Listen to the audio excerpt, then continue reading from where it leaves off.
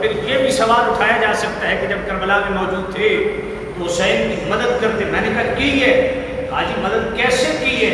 मैंने कहा, जी, तुम ये समझते हो कि वहाँ से बचा लेते तो इम्तिहान तो ख़ानदान रसालत के माथे पर झूमर है। मेरे नबी ने मदद की। हाजी कैसे की? मैंने कहा, सत्तावन साल के एक शख्स हो। उसके बच्चे उसके सामने जबा हों, भतीजे सामने जबा हों, भांजे सामने जबा हों, रुफका सामने शहीद हूँ और एक लाश उठा के मैदान करजार से वो जनाब वाला खैमों तक ले और किसी मकाम पे न डोले। इसका मतलब क्या है? इसका मतलब साफ़ है कि पुश्त हुसैन पे दस्ते रसूल था। मुस्तफ़ा करीम की मदद थी। तभी तो हुसैन खड़े रहे। अल्लाह।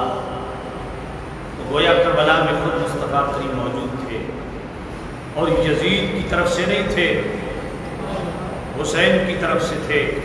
अब जो यजीद की तरफदारियाँ करके उसको अमीरमिन गर्दानते हैं, या दो शहजादों की जंग गर्दानते हैं, या यजीद को अमीरमिन और इमाम हुसैन को बागी होने की जनाबे वाला एक बदतीनत और बदफितरती का मुजाहरा करते हैं, उनके लिए भी लंबा फिक्री है कि मुस्तफ़ा खड़े तो हुसैन की तरफ़ खड़े। और मदद की। इमाम अली मकाम को पावर दी सबर दी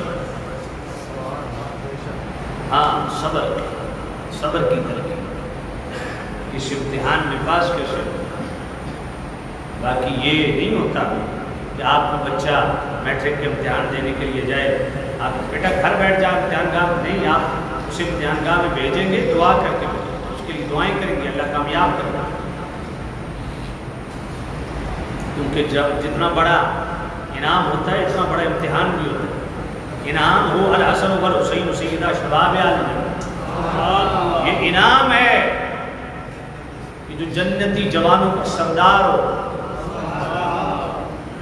ये इनाम है कि जो रसूलों के इमाम इमाम सलीम के कंधों पे सवारियाँ करे।